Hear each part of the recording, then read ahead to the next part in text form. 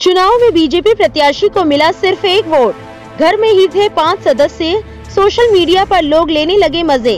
तमिलनाडु निकाय चुनाव में भाजपा के टिकट से वार्ड मेंबर का चुनाव लड़ने वाले उम्मीदवार को मात्र एक वोट मिला है। हैरान करने वाली बात तो ये है कि भाजपा उम्मीदवार के अपने ही परिवार में करीब पाँच सदस्य है।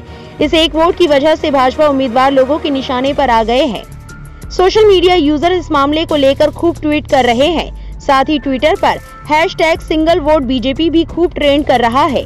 मशहूर पत्रकार रणविजय सिंह ने इस मामले पर ट्वीट करते हुए लिखा, तमिलनाडु निकाय चुनाव में बीजेपी प्रत्याशी को कुल एक वोट मिले। प्रत्याशी के घर में ही पाँच सदस्य हैं। इन चार लोगों के दिमाग की जाँच होनी चाहिए। आखिर प्रोपोगेंडा से कैसे बच गए?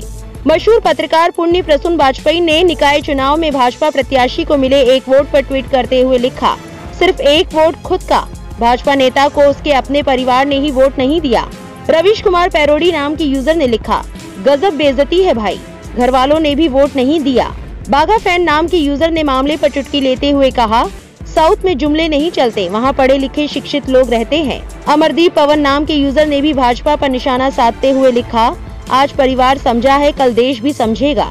ऐसे ही अन्य कई लोग हैं जो मामले पर भाजपा नेता की चुटकी लेते दिखाई दे रहे हैं। आपकी क्या राय है इस खबर को लेकर हमें कमेंट सेक्शन में ज़रूर बताएँ। हमारे चैनल को सब्सक्राइब करें वीडियो को लाइक और शेयर करें। बेल आइकन बटन ज़रूर प्रेस करें, ताकि राजनीतिक गलियारों से जुड़ी हर वायरल खबर आप तक पहुँचती रहे।